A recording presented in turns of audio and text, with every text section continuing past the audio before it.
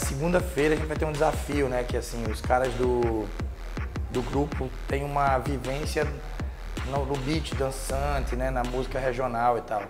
E eu tive uma ideia de misturar eles com uma banda ultra pesada e ultra, ultra progressista também do ponto de vista do som, que são os Deaf Kids. Estão vindo aí na segunda-feira, a gente vai se reunir, o nosso grupo e eles, para fazer uma jam session lá embaixo. Então estou muito ansioso porque vai acontecer na segunda-feira. Foi uma ideia minha, digamos assim, como curador, de tentar juntar essas energias. Eu acho que vai dar um caldão a percussão e, e os synths com o Deaf Kids.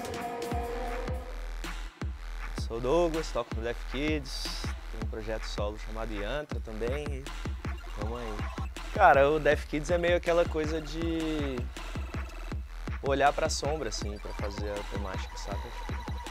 Acaba tratando umas coisas mais bad vibe, mas tá pra estar tá olhando, pra estar tá lidando com aquilo. A gente tem uma pira de fazer música desafiadora, assim. Pra nós.